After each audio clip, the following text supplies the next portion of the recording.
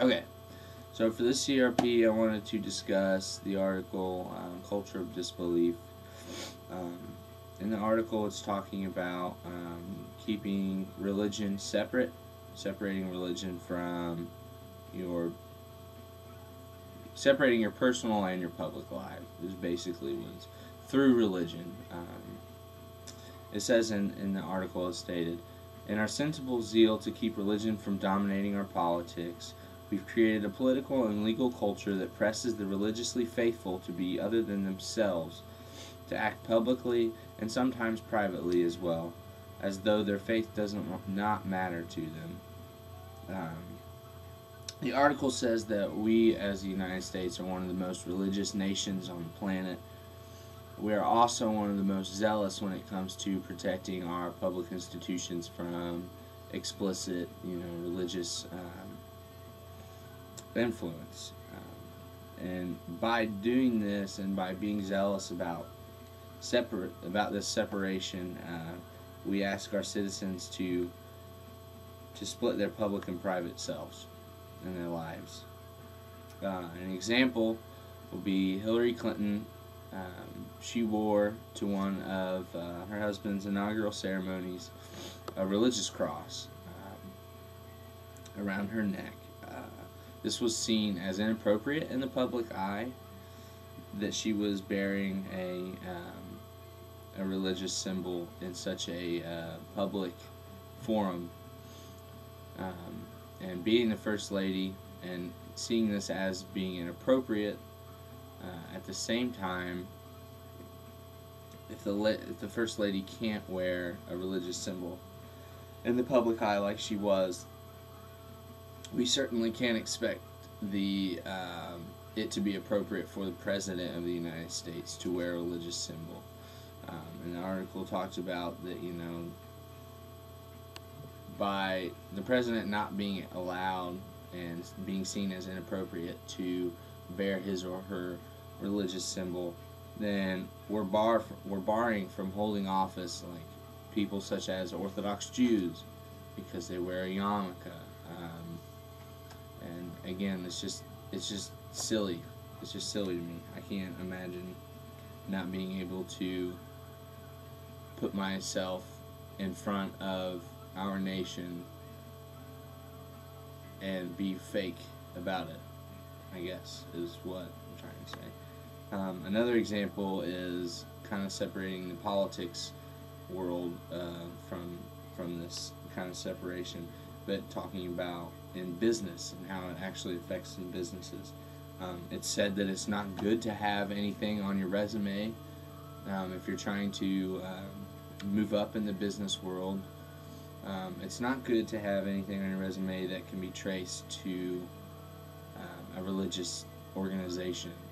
Um, just because of this, you can be seen as being a religious fanatic, which apparently is really bad for business. So, um, Mamadou Tall was one of my good friends in high school. Um, he was a practicing Muslim and uh, he prayed at school. Um, he moved from Africa um, when I was in 10th grade, and he joined the soccer team and everything. We become pretty good friends. Um, but Mamadou, uh, since he was a practicing Muslim and praying, he had to pray during uh, school. Um, the teachers asked that um, he would be allowed to pray as long as he would do it in a private manner in which the principal and other teachers felt best was, you know, during class. Um, he would be able to be excused um, and leave the classroom to go do this. Um, I think it was so, usually during like study hall and stuff like that, classes that weren't, you know, hugely important or periods during the day that weren't hugely important. Um, and this kind of put a bad, like, a bad rep on um, the elders and the authority figures in the school. Um, we as students uh, could have cared less had he prayed inside the classroom or anything. He was very well accepted um, in my high school um, as being a practicing Muslim. He was the only one that I know of or that I can acknowledge um, that prayed at school, and um, he was very, very, very, like I said, well accepted. Uh, the students didn't take offense to it. Um, as far as I was concerned, no one in my class or the classes um, around me were shocked. None of them were shocked or appalled about him praying at school. Um, but we were more shocked and appalled that the principal and the other teachers in the school made him do it while the other students weren't around. Um, you know, and if we're gonna if we're gonna continue with this multicultural ideal and a, multicultural society, we've really got to stop hiding um, everyone's cultural and religious differences. All it does is create more ignorance within our society. And if we're trying to preach multicultural education and, you know, we got to do this and we got to do that and we've got to, you know, accommodate to these needs and accommodate to those needs, we're really we're really being hypocritical by keeping this stuff hidden and buried down and not allowing people to really live their cultural ways.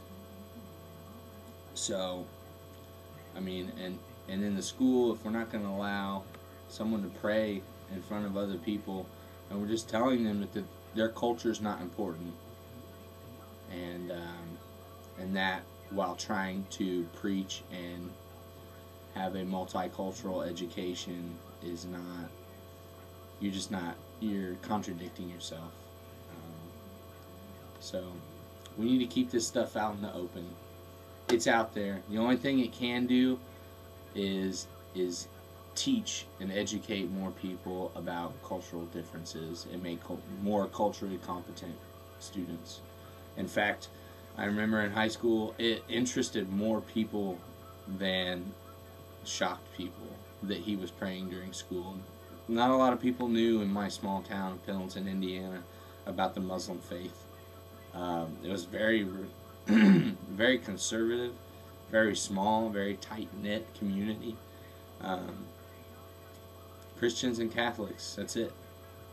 So for for a, a Muslim faith to come in and and be willing to, you know, a Muslim person being willing to show their culture in front of other people, I found that fascinating, and so did most of the students in my high school.